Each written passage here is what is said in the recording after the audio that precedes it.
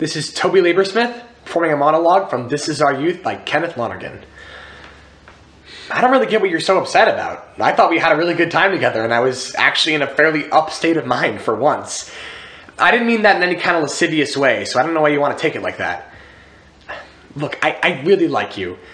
I'm sorry I said anything to Dennis. I, I definitely caved into peer pressure. But I also definitely said as little as possible and was totally respectful of you in the way I talked about you even though I was actually pretty excited about what happened last night and also about like maybe like the prospect of like I don't know, like going out with you, which I would be very into if you were. But if you want to think it didn't mean anything anything to me, then go ahead, because that's not the case.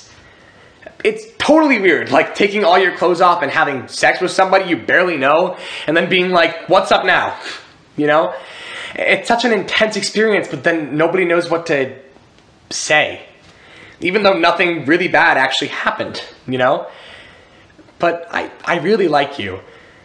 I don't agree with most of your opinions, but I also don't meet a lot of people who can actually make me think, you know, or who can hold their own in an interesting discussion.